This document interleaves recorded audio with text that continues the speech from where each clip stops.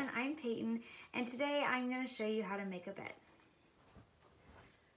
So first I just start with removing the pillows because I just feel like that's the best way to get the comforter all the way up.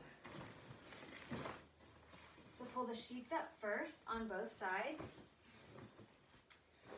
Pull the comforter up and make sure that both sides of the comforter are about even length, so I go on both sides and make sure that about this even amount of blanket is on both sides.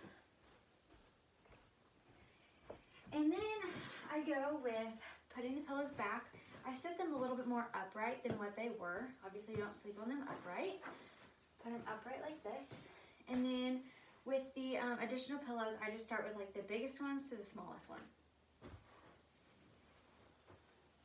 So I have these two big ones that match my comforter put them in front of the pillow just for a little bit more decoration. And then I continue with the two smaller ones. In my accent color, my room is navy. So this is where I pop my navy color. Kind of put this here. And you can kind of add a little bit more homey feeling by adding some texture to the pillows. And then the final pillow has a little bit of pattern to it, kind of gives it a little bit more of a pop. I'll pull my accent blanket up just a little bit. And there's my bed that's made. Thank you for listening How to Make a Bed.